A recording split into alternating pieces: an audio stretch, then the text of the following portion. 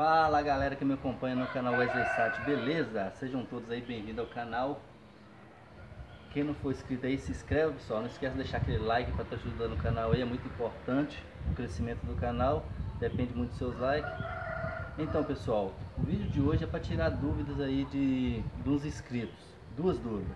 A primeira dela é tem gente que comprou aí umas formas de, de plástico e como eu já, já, já tinha falado em alguns vídeos meus anterior, que as formas de plástico, ela, ela serve para estar fazendo as placas de gesso, mas como ela, ela não vem certinha no esquadro, vocês têm que estar acertando ela, né?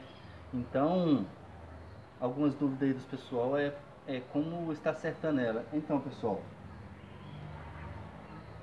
é, vou falar para vocês para que, que serve o reco. Que muita gente tem alguns também que, que não sabe o que, que é o reco. O reco, pessoal, é para vocês aí estar tirando é, o excesso que tem aí do lado aí da sua placa. É, isso aqui é uma ferramenta muito importante para quem assenta suas placas de gesso, o gesseiro. O gesseiro, isso aqui, ó, ele, ele tem muita dor de cabeça, porque geralmente você está sentando as placas aí de gesso na parede e ela fica aí, alguns ficam uma mais alta do que a outra. Essa aqui, pessoal, parece não é, essa aqui é ideal para você estar acertando a sua placa. Você vai colocar a sua placa num lugar assim, ó, apoiado, e ela tem uma vantagem, tá vendo aqui, ó? Ela tem essa parte aqui que vai pegar por debaixo da placa, e essa aqui já tira o excesso que tem dos lados. Aí você vai passar ela assim, ó. Tá vendo aqui, ó? Tá vendo ela apoiando aqui, pessoal? Olha aqui, ó. Tá vendo aí, ó? Ela apoia certinho. E aí só vocês estão lixando assim, ó. Ó. Tá vendo? E aí vai. Você lixa dos dois lados. E na hora de você, de você estar sentando, se você fazer isso, a, ajuda demais para você estar sentando sua placa de gesso. Né? Dá menos trabalho. E essa outra aqui, é, esse outro reco aqui, ele é muito bom também, pessoal. Muito, é, é, tem muita utilidade esse aqui. Ó. Esse, se você não tiver esse aqui, você pode fazer esse mesmo procedimento.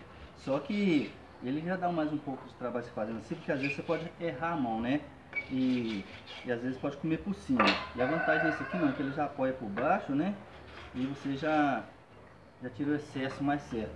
Esse aqui, quando você fazer a parede, quando você estiver fazendo uma parede lá que tiver tudo certinho, aí às vezes vai aparecer umas placas que vai dar uma diferença de tamanho, né? Aí quando você vê que ela está saindo fora de nível, você vem com esse reco aqui e vem passando por cima, acertando a parede, entendeu? Para você não se perder, porque você começa a sair fora de nível e você continuar sentando, quando você assustar, é, ela, ela vai, dar, vai, vai estar dando dente aí você vai se perder. Então é muito importante vocês, vocês ter o, o. Muito bom mesmo. Primeira coisa que vocês começar a sentar, vocês começar a fazer suas placas de gesso aí, ó. Vocês não esquecem de estar comprando seu reco, pessoal. Porque você está sentando a sua placa na parede sem o reco é complicado, tá? Aí vocês podem estar comprando os dois, isso é baratinho, né? Ajuda pra caramba. E, e para quem aí tá usando as suas formas de plástico, é necessário vocês ter o reco. Porque sem o reco, vocês vão ter dor de cabeça para estar sentando a sua, a sua placa de gesso. Beleza?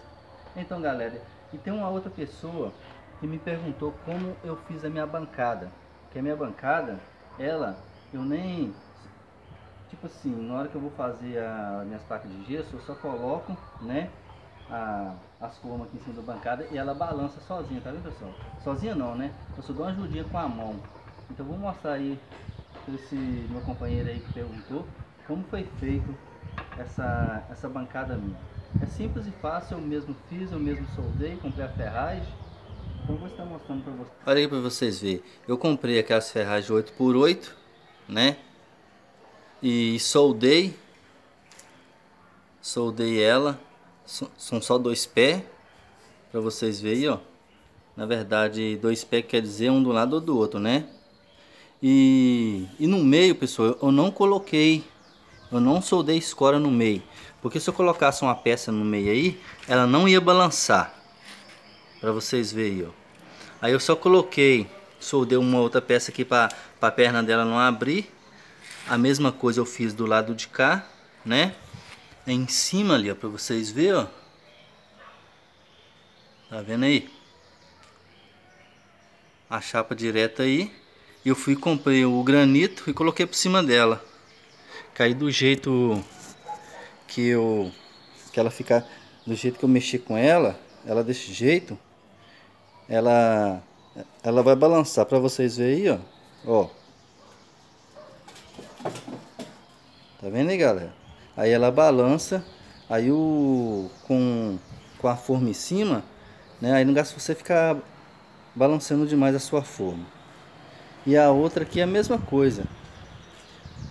Tinha um eu achei um pé de cama que é de ferro aqui para vocês verem. Soldei nela e fiz essa bancadinha aqui só para colocar as placas de gesso mesmo para ela estar secando.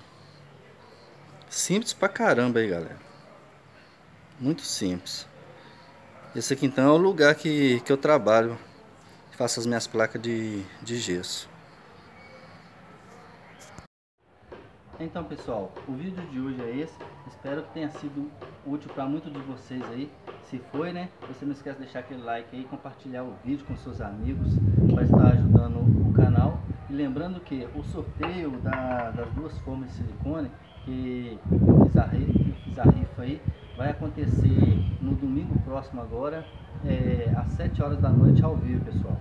As duas formas já estão até embaladas para, para ser encaminhada para a casa do, do, ganhador. Quero agradecer aí esses poucos que participaram, participaram aí. Se você não, não participou e quer participar, vou estar deixando o link aí do vídeo abaixo na descrição do vídeo. Você pode estar clicando nele e vendo como funciona, beleza? Abraço a todos aí, fiquem com Deus e até o próximo vídeo. Valeu, galera!